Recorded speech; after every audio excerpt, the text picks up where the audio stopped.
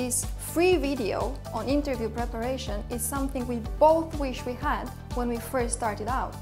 Something to help guide and prepare us for what was to come.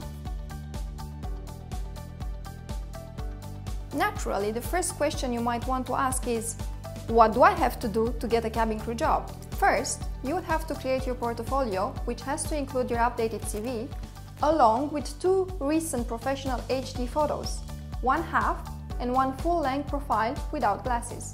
Your CV is your very first contact with your recruiters and it has to be impeccable.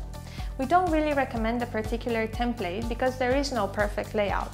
You can use any format as long as it looks neat, well organized and contains punctual information about you and your experience. It should be simple, easy to read and shouldn't exceed two pages.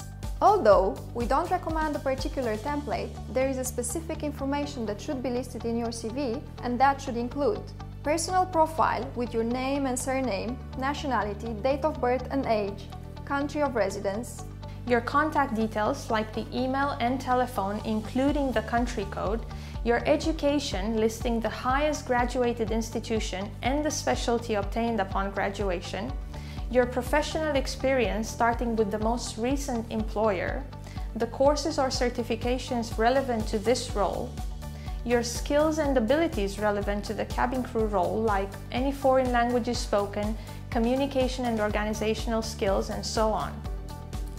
If you have previous first aid training, volunteer or any other customer service experience, make sure you include it all in your CV.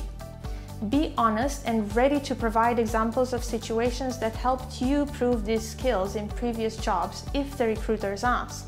Your photos are just as important because they will be presented to the recruiters and higher management at the airline's home base after the selection process has been completed.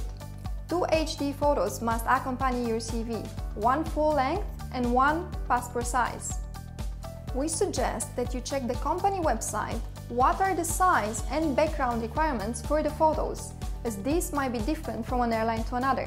You need to make sure that your photos do speak a thousand words about what a professional, dedicated, friendly, customer service oriented, team player, impeccably groomed, wonderful person you are. The photo outfit, much like the outfit you will be wearing during the interview, should be a well